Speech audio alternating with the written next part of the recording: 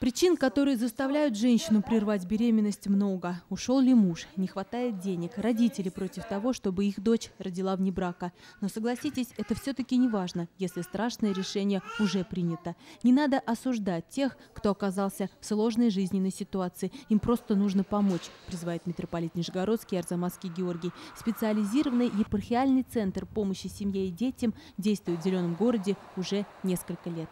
У нас центр такой противоабортной деятельности, реабилитации семей в тяжелом положении. Стационар в Зеленом городе, где мы принимаем туда э, молодых женщин, которые попали в трудную ситуацию, они беременные, их подталкивает жизнь, близкие, к тому, чтобы они сделали аборт. Мы их уговариваем, упрашиваем, убеждаем, чтобы они этого не делали и рожали детей. Мы их не просто занимаемся уговора и профилактика, даем жилье, пропитание. Про то, какую помощь в центре «Быть мамой» получают отчаявшиеся нижегородки, мы уже рассказывали в наших сюжетах. Теперь помощь смогут получить и в Автозаводском районе. Владыка Георгий освещает новое здание епархиального центра на улице Дружаева.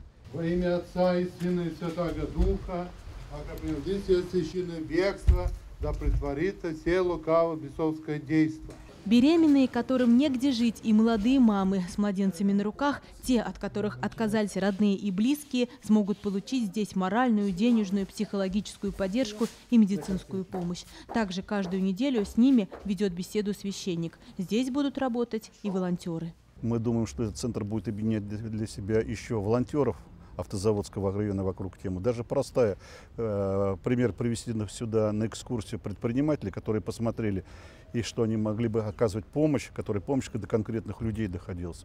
Безусловно, в ближайшее время сюда приведут женсовет автозаводского района, потому что взаимодействие женщин с этим центром очень важно. Помочь нуждающимся можете и вы, наши зрители. Телефоны центра видите на экране. Молодые мамы, которые сюда обращаются, как правило, приходят с ребенком на руках, без смены одежды, без каких-либо средств к существованию. С пустыми руками приходят и беременные. В центре будут рады любой помощи, начиная от продуктов питания до средств личной гигиены. Если кризис первый, с чем приходит мама, мне нечего есть, мне нечем кормить детей.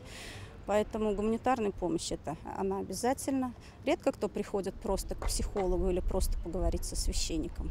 Ежемесячно помощь здесь получают около 200 нижегородок. В целом за годы работы центра удалось сохранить жизнь более 100 малышам.